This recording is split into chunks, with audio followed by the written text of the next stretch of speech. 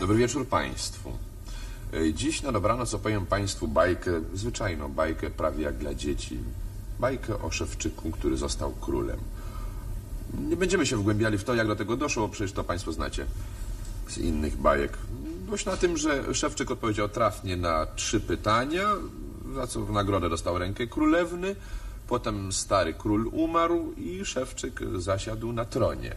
No a potem, właśnie, idzie o to, co się stało potem.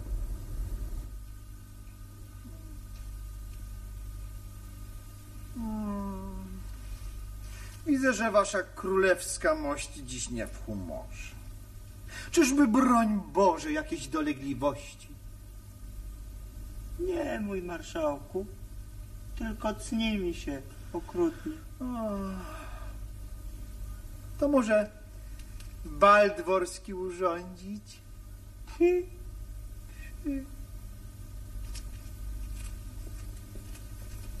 To może turniej rycerski zorganizować? E, To może polowanie. Zdrowa to rozrywka.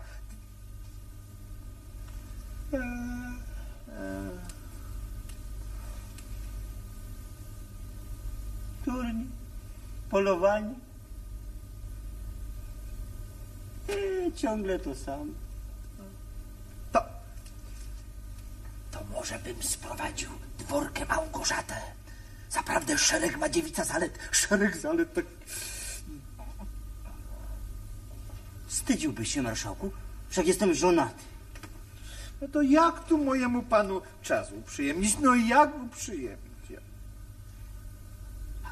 A wiesz, co, marszałkuniu? Nie, nie wiem nic.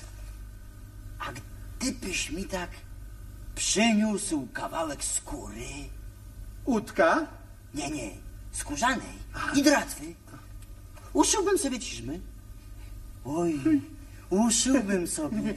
Czemuż nie najjaśniejszy, panie? Może cesarz Karol e, grać na kobzie? O? Może Ludwik Burgundzki hodować piwonie? Czemuż i ty najjaśniejszy, panie, nie masz mieć królewskiej fantazji? Zaraz postaram się o przednią skórę i najlepszą angielską dratwę.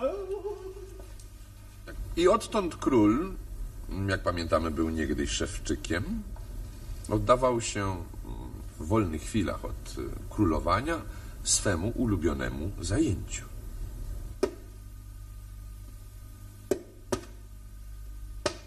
O, o, o, o, o, fufam. Już. Już. Już dwie komnaty. Och. Już dwie komnaty są zapełnione popowawe ciżmami twojej roboty, panie. Czas pomyśleć, co z nimi zrobić. Przecież nie będę ich sprzedawał. Jako królowi nie godzi mi się to. Niestety. Nie ma mowy o sprzedaży, ale gdybyś mi, panie, pozwolił eh, rozporządzić tym skarbem, zrobiłbym z niego właściwy użytek. Mam do ciebie, Kokasiu, nieograniczone zaufanie. Rób, co chcesz. I marszałek zrobił, co chciał, a mianowicie?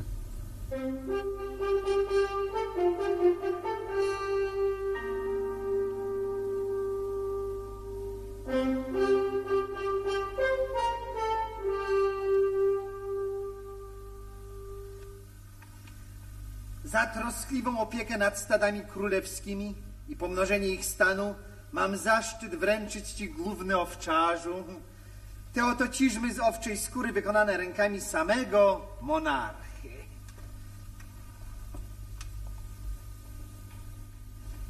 Gdzie moje odciski? Nie ma odcisków. To nie ciżmy, to balsam. Za wierne opisywanie dziejów panowania naszego najjaśniejszego króla jego mości mam zaszczyt wręczyć ci nadworny kronikarzu anonimie te oto ciżmy z byczej skóry wykonane jego rękami.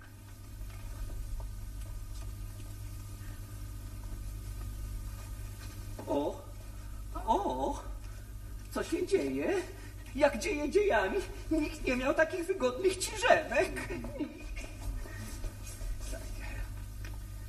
Za urodę, wdzięk i dowcip oraz szereg innych zasług dla monarchii mam zaszczyt wręczyć Ci piękna dworko Małgorzato te oto purpurowe ciżemki z safianowej skóry wykonane specjalnie na Twoją nóżkę przez miłościwie nam panującego.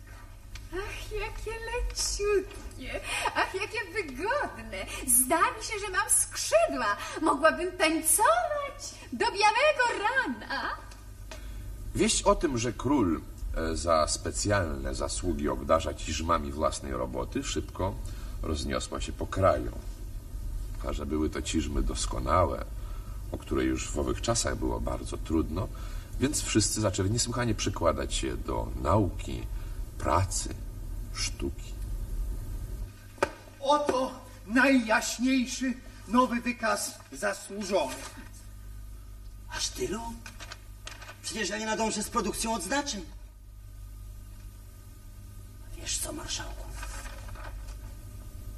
Będę musiał chyba przyjąć czeladników. Tak więc kraj rozkwitł nad podziw, a wdzięczni obywatele postawili królowi pomnik w postaci wielkiej, złotej ciżmy, na co w żadnym wypadku nie mogą liczyć dyrektorzy Hełmka, Radoskuru czy Podhala, choćby nas nie wiem jak to prosili. Dobranoc Państwu.